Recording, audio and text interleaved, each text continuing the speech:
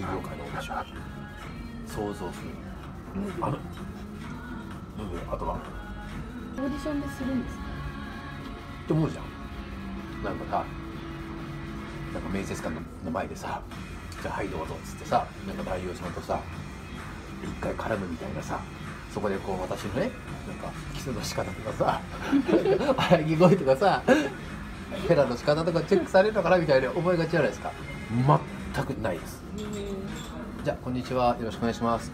つって。始まるじゃん。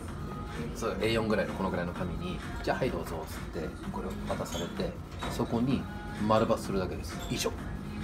で何に対して丸バするかというとあくまでも仕事として何ができて何ができないかを丸か×かするだけ。だ分かりやすい質問ね。こんな質問絶対ないんだけどキスはできますか？丸だよね。じゃあフェラはできますか？丸じゃん。じゃあごめんね食べてるとこ。あちょっとあれなんだけどでアナルはできますか？できますか？えできないじゃあ×× それをアナル丸にしたからギャラが上がるとかオファーが来るとか関係ない。えー風俗はプレーの幅があ広がれば広がるほどオプションでそれだけバック入るんだけど AV は全部丸したからギャラが上がる上がるとかそのプレーの幅にギャラは反映されないんですよ。そう。だから最低限のことさえできればいい極端な話。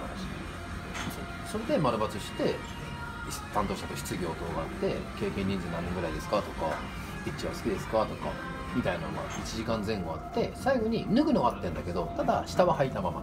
で体のラインを見るってことで脱ぐくらいでそれももうメーカーさんだって毎日もうさ業務的に見てるからやらしい目で「えーえーえーえー乳首どうなってんのえーって言って見てるわけじゃないからそれは俺ぐらいだよ、うん、それは俺ぐらいしか見てないからでそうすると早ければもう1日2日後ぐらいに条件っていうのが出てくる。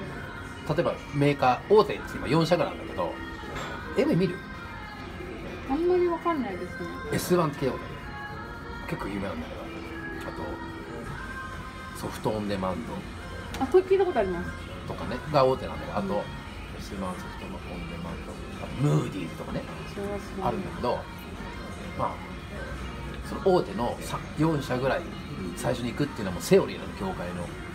仮に4社行ったら絶対4社から絶対条件出てくるから4社。全くオファーがないことはないから。でその4社の中のオファーで自分が一番良さそうだなと思うのをチョイスするだけ、やるならね。いやだからオファー4社全部オファー来たけどあお前のがこんだけしかもらえないんだったらいいですよっていう場合は蹴っちゃっていい断っていい逃げ道がある。別に。オーディションに行くのはやるのが前提とか脱ぐのが前提で行くわけじゃないから。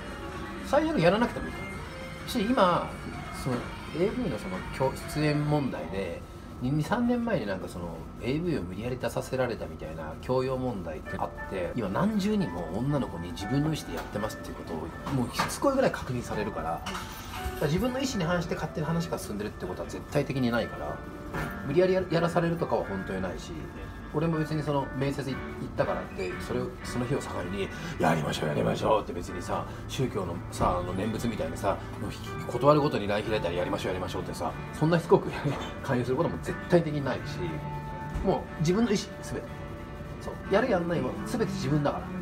メあの事務所が決めるわけじゃなくてメーカーが決めるわけじゃなくて最終的には自分の意思。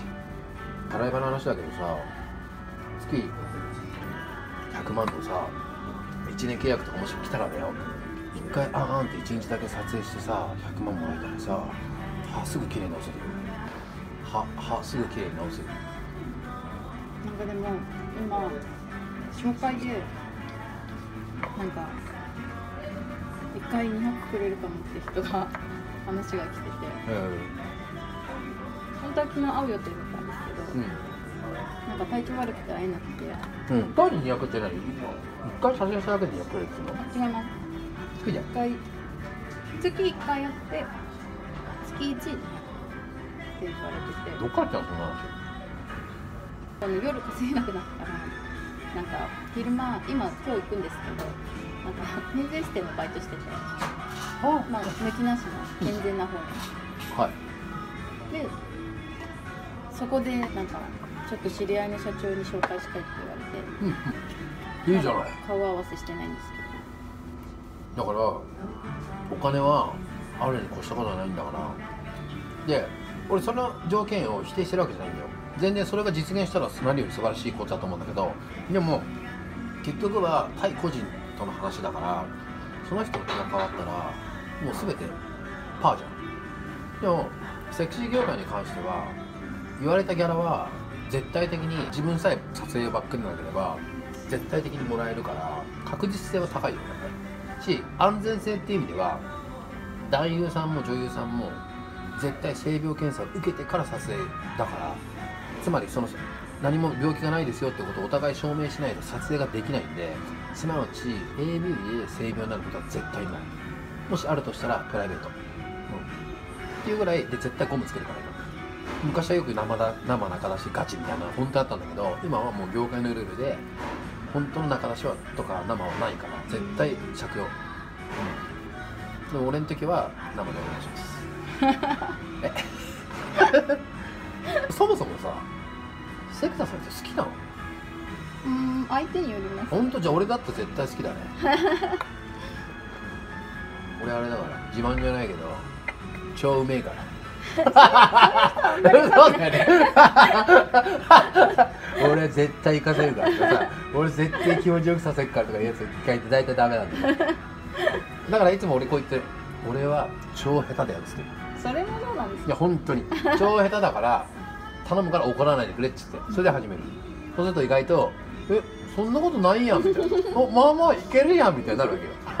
ハードルを下げておくとね。だからさ俺が思うのはそのめちゃめちゃ太い話もそうだしセクシー業界もそうだし対個人もそうだけどいろんな要はね収入の窓口というかチャンネルがあった方がどっかがポシャったとしてもどっかでリスクエッジができるからだからどれか1個に絞る必要はないのよ。だから彼氏じゃない男じゃない結婚する相手じゃないんだから別に。結婚する相手は1人だけしかだって法律で決まってるわけだから重婚ダメだから1人しか選ばなきゃいけないけれどもあくまでもこれ一種の経済活動だから何個でも収入があったっていいんだからある意味クレバーになんないと。まあ言葉悪いけどちょっとこうずる賢くやらないともったいないじゃんだってせっかくね綺麗にする大事な体を使うわけだからさ多かれ少なかれさ。別に僕は軽いんだけど彼女がそういうふうな感じで活動をしてたとしても俺はむしろ応援する。俺は別に何とも思わないの。まあ例えばじゃあ2人俺ら付き合ってるとするじゃん。お金もらわないでエッチしちゃいました。それ浮気だよね。だけどお金を多かれ少なかれもらったんだったら俺の中で浮気じゃないからビジネスだから。何とも思わないうん全然。かなりの原石だと思うよ。年齢関係ないから。若いのにに越したことはないけれどもその年代でもやっぱ出す子には全然メーカー出すからね。マジ。あんまりでも胸大きくないですよね。何カップ？C ででも細いでしょ？細いきゃいいよ全然。C でポチャだったらちょっと厳しいんだわ V の優先順位って1顔2胸3ロリだから一番いいのはそれは贅沢だけど可愛くて胸があることですよね。だからといって顔が良くて胸が A カップだったら全然 OK 顔が良くないのに A カップはもうお疲れ様でした。逆に言えばブスで胸がある子だったら全然 OK うーん。それとか？俺がこうやって顔合わせで結構いろんなことあってるけど久々に本当ガチで冗談抜きでテンション上がるぐらいのビジョン。マジで。で本当にこんなこれはちょっと半分冗談で聞いてもらっても全然いいんだけどあわよくば俺は本当にあのパパ活しようがセクシー女優やろうが何しようがどうでもいいんだけどあわよくば本当に恋愛したいぐらい可愛い。恋に落ちるぐらい可愛い。本当に。なかなかないよ俺会ってる人間って半端じゃないからね。4年前からやってるの俺このアプリとかサイトを使っていろんな女の子をスカウトしたりこうやって顔会う会うのね。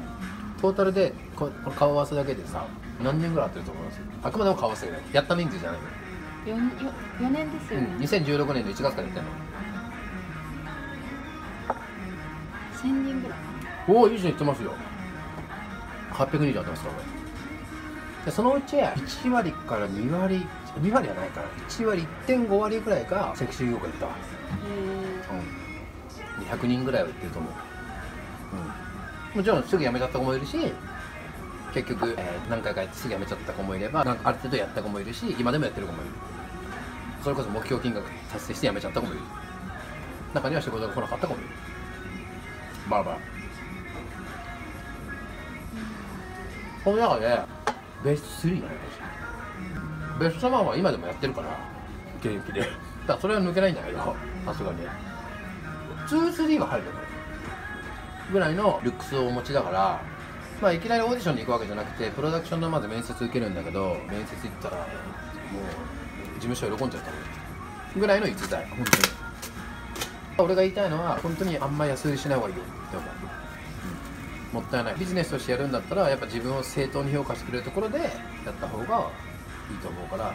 別にあれでお金もらわなくて全然いいですよってそれだったら別に誰とでもね自分がいいなと思った人だったらそれは、ね、俺が言う権利はないけどやればいいと思うし。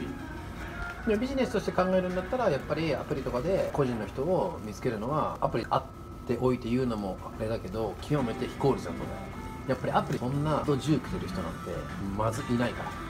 大体そう言うとなんか叩かれてブロックされます、そうだ。よ、うん、そうだよ。だってこれ考え方だけど例えばじゃあすぐそこにあるビックロと一緒でお客さんです。なるべく安く家電買いたい。でもおお店側としてはなるべく高く売りたいみたいなさ。その売り手と買い手の心理と一緒だからさ。そのせめぎ合いだから。そりゃそうじゃん。だからパパ活って究極何ですかっていうと俺の持論はねもう確率論なのよどういうことかっていうと理論上はだよ。アプリでも交際クラブだろうと都度で銃出してくれるような太い人はいると思うよ。理論上は。ただその人に私が巡り合う確率って話なのよ。そう。確率論でトントン拍子でさマッチングしてさ毎回毎回10でうようよって人なんか合わなくねったんだよ。ってことなんですよ。だからそうすると永遠に積んでね理想は多分10ぐらい欲しいはずなんだよ最低ラインが5ってするだけで別に5でいや5もらえばバンバンさんなんですよって感じじゃないじゃん。相手によりでしょ？もう最低ライン5はもらわなきゃやってらんないよっていうラインの5だから理想は別に8だろうと10だろうともらいたいわけだから本音はね。だけどそうするとそういう人たちいなくはないんだけどじゃあトントン拍子で会えるかって言ったらなかなか会えないのよ。いないからやっぱり。そうなると分かりやすく例えるならこの穴掘って油田出ないよなってとこを永遠に掘り続けてるようなもんだからもう時間の無駄なのよ。その探してる要は穴を掘ってる間にも寿命は1分1秒刻一刻と縮まってってさおかしいね。年取ってってるわけじゃん。イコールそれってどんどんどんどん価値がさ 下がっていくわけじゃん。だったらそんなここの穴掘っても明らかに油田で油が出ないようなってとこを掘り続けるよりも違うところで掘っちゃった方がいいんじゃないっていうのが俺の持論なんだよ、うん。選択肢さえ間違えなければ相当金になると思うよ。うん本当に。自称だけど俺はあの AV 業界の秋元康って言われてるから。